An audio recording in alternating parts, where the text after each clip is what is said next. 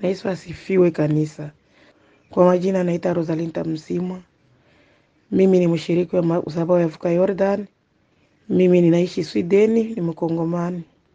E, ninataka nitoe shuhuda wangu. Makuna maajabu Mungu anaendelea kunifungua. Shuhuda wa kwanza, Mungu amenifungua madonda ya tumbo.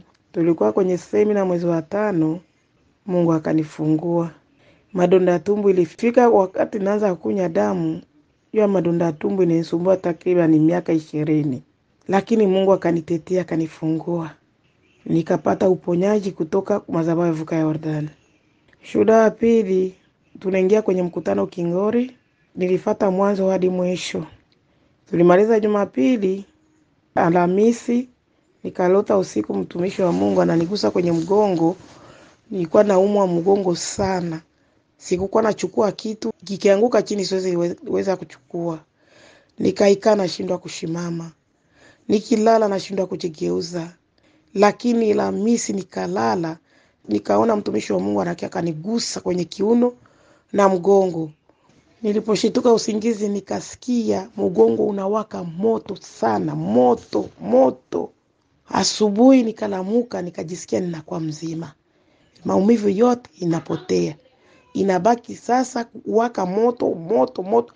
Nilifanya siku mbili, niko nasikia kama moto uko katikati ya mgongo, moto uko katikati ya mgongo.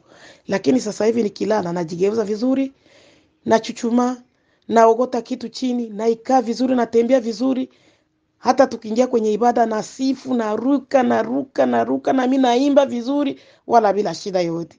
Nashukuru sana madhabahu ya Vuka Yordani, inazidi kunifungua hadi siku hadi siku. Nina vifungo vingi sana na nina ushuhuda mingi sana, lakini siwezi nikaanza mwanzo mpaka mwisho. Nakuwa nashuhudia nusu nusu tu, nitukuze makuu ya Mungu yanayonitendea. Nashukuru mtumishi wa Mungu. Mungu azidi kukuinua kiroho na kimwili tumbu iliyokubeba miezi tisa, Mungu azidi kuibariki kabisa, kwa kuona gisi unatutetea sisi wanyonge na wadhaifu. Mungu akubariki sana, amina.